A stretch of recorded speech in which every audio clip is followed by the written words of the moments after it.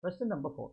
A balloon rises at a steady vertical velocity of 10 meter per second. So 10 meter per second, u is given. An object is at rest relative to the balloon when the object is at a height of 120 meters above the ground. So therefore, let me write down the diagram. So I have the diagram like this. So the balloon is somewhere over here. This is the ground and the balloon is here and here the distance between them is 120 meters. Okay, and then a ball is been object has been released. Okay, air resistance is negligible. So while it is being released, the balloon is moving with an initial velocity of 10 meter per second. Okay, the moment it releases, what happens to this particle? Particle takes up this speed, okay, and then okay, the acceleration is equal to g. Acceleration is equal to minus g because I choose this as my x-axis and this as my y-axis. So definitely a equal to minus g, and this velocity, initial velocity is u here.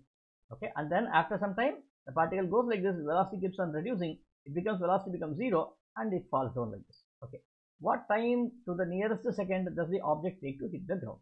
Okay, you need to find out what is the total time of flight. So how do we do? Use the expression s is equal to ut plus half at square. What is s here? See, s is we are measuring it in this direction. So it should be minus 120. Minus 120 is equal to u. What is u? 10 and t I do not know t plus half into what the value of a minus 10 minus 10 into t square. So what do I get over here? So I get this as 10t minus 5t square is equal to minus 120. Right? So as a result of this, let me simplify this. So I get this as if I divide this by 5 universally, totally altogether on all the direction, on the left hand side and right hand side, I get this as minus 24 is equal to 2t mm, minus t square. Let me write it down once again. t square minus 2t minus 24 is equal to 0. Okay. Now let me factorize this. When I factorize this, what do I get here? I can now write this as this is 6 4 are 24.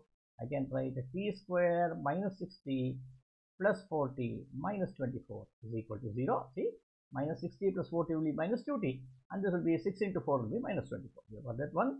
Or this implies t minus 6 into t plus 4 is equal to 0. Thus, you get the values of t as t equal to 6 and t equal to minus 4. Minus 4 you have to discard because time cannot become negative. t should be equal to 6 seconds. So, the answer is C here.